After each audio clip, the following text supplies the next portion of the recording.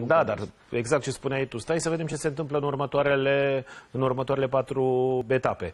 Dacă Craiova bate mâine și o egalează pe FCSB, îți dai seama ce meci e weekendul următor Craiova-CFR? Craiova CFR, da. Intră și Craiova în- cu șanse mari. Corect. Dacă o bate pe CFR, se apropie și să vedem CFR-ul ce face astăzi.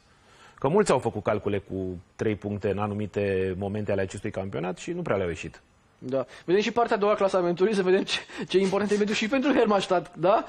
Teoretic noi spunem, bate CFR, se duce la o puncte, dar dacă bate Hermannstadt, face 31. Sau dacă face egal. Sau egal, 29 și vii la 3 puncte de uh, loc de, de play-off. Uh, eu am spus că se va juca probabil până în ultima etapă, așa cum s-a jucat fiecare dintre precedentele trei sezoane. Și pentru dacă bate accesul. Poliaș pe Dinamo.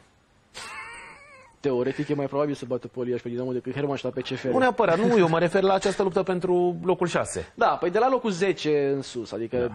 Dinamo, teo... eu n-am calculat exact, dar Dinamo s-ar putea ca și cu punctaj maxim, nu știu dacă uh, intră în play-off. Punctaj maxim când? În astea Punctaj 5 maxim etape? astea 5 etape, da. Hai să fim serioși. Nu, teoretic, noi vorbim teoretic. Evident că nu cred că va face Pe, punctaj noi maxim. pe române cam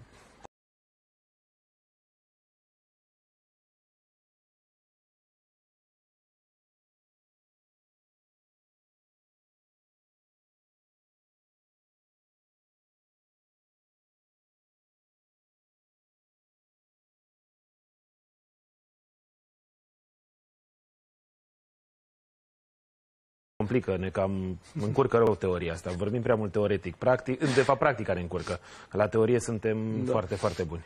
Bun, meciul este practic și, să spun așa, reîntoarcerea lui Miriuță la, la Cluj, în Gruia, pentru că Miriuță a antrenat multă vreme CFR, a rămas în relații foarte bune atât cu cei de acolo, cât și cu jucătorii și vreau să vedem câteva declarații pe această temă din partea lui Miriuță despre anumiți jucători de la CFR și apoi uh, ce răspunde Camora, un jucător cu care Miriuță a, ju- a lucrat în Gruia.